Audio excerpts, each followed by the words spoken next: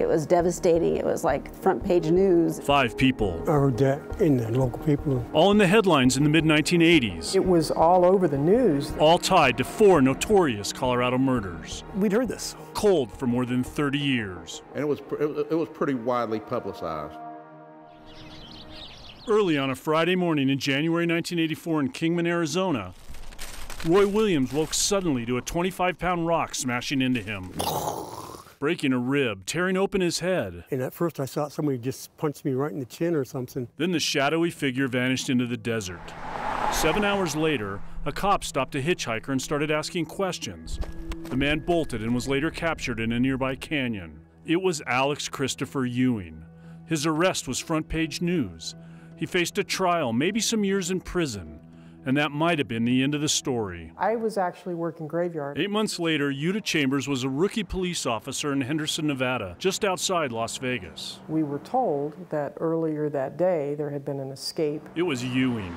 He was riding in a sheriff's van on his way to court when deputies stopped for a bathroom break. We had gotten a call that there was somebody up in the neighborhood. We just saw a man running out there in our yard. So we went over there, we couldn't find anything.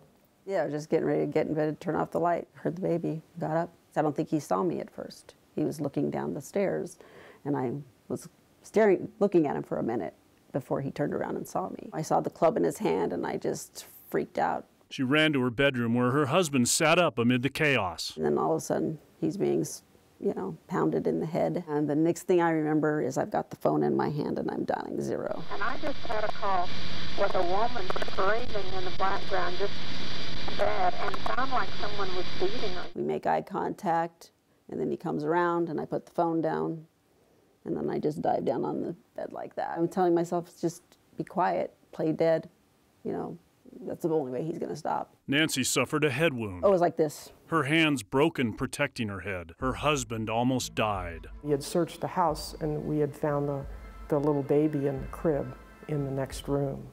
And uh, thank God nothing had happened to the, the little baby. They also found the couple's other son safe. And they found a broken axe handle. What they didn't find was Alex Ewing. We were sitting up at the ranger station. Everybody was looking for the escapee on the run. We got a call from dispatch. Ewing had made a collect call from a marina. Okay, so we came down. And as, as we arrived, there is Ewing. 35 years later. Somewhere in here, he made it over over the top of this little saddle here. Ranger Mike Meyer vividly recalls I had re redrawn my weapon at this point. The moment he captured Ewing. Probably 75 feet away, there he is.